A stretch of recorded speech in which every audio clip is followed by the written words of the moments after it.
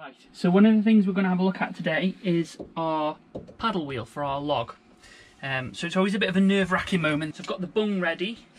Um, I've got to take this out, and then obviously some water's going to gush in here. So it's always a bit of a nervous time when you when you take one of these things out. I've only done it a couple of times before, so I'm a little bit nervous myself, to be perfectly honest.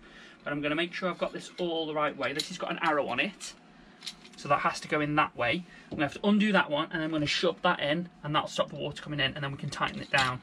The problem we've got here is that the log, um, the paddle wheel, was anti-fouled.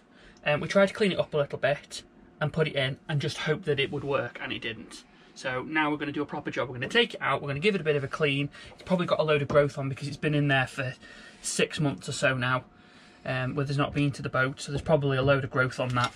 Um, we'll clean it up and um, hopefully that'll fix the problem. This goes back to our tri-data instrument, which does um, depth and speed, and then that information is also used, like on the wind instrument, to do apparent wind and a few other bits and bobs. So, got to get it fixed really, and also we get trip data from it as well. Okay, here we go.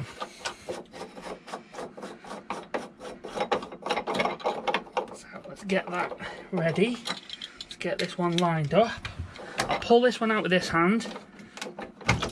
Here we go. So it's not too bad. We're not going to sink the boat, but it's still a bit of a scary moment every time you do it. Okay, so a little bit more water came in than I was expecting because I actually got that slightly wrong. It slightly went in cross, slightly cross-threaded. So we sorted that out now.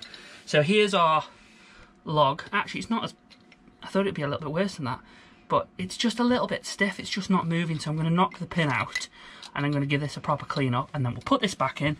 We'll dry it out we've got a little got a little animal. We've caught an animal. Hey. Look. What kind of animal? Little sea shrimpy type thing. There. Oh man that's gross. He's got sucked in. Okay oh, we've got, another one. we've got a couple. So we'll give this a clean up and then we'll report back so what we're doing now is we're just knocking out the, there's a little pin that, that runs through the paddle wheel. You can see there. So I'm just going to take that out, give that all a good clean up, clean the paddle wheel up and just see what's going on with it. Catherine and I have managed to rescue a couple of the little shrimp things, whatever they are. So they're now in the bowl and hopefully they'll be going back into the sea. Okay, so I'll spin the wheel now. I've cleaned the wheel up. I'll spin it and see if it works. You getting a reading? Yeah, it's working. What's it saying? It's kind of a mix. Uh, the depth, Not the depth, the speed. the speed's going up. just ran, really random. It's just going that up. should be okay now. It's just going down now. It will. Ah, yeah, you see the trip's gone up a little bit as well. So we've got a little bit of trip, that's from just me spinning that wheel. Okay, well, we'll wait until we get a little bit of tide or we go out, um, and hopefully that'll move around. Dried all around this just to make sure that we haven't got any leaks, which we haven't. So we'll check that in another hour or so just to make sure everything's okay. Um, and then that, um, that'll be fine. Just hand tighten these. If you look on this, one, there's actually two rubber seals at the top. There's a seal here and then a seal right at the very top.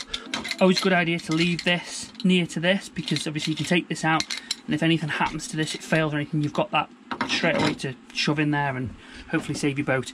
Obviously this this one it's slightly different because that's actually through it's a through hull fitting you can't take any of that out. So the only thing you could do there really is knock a wooden bung in.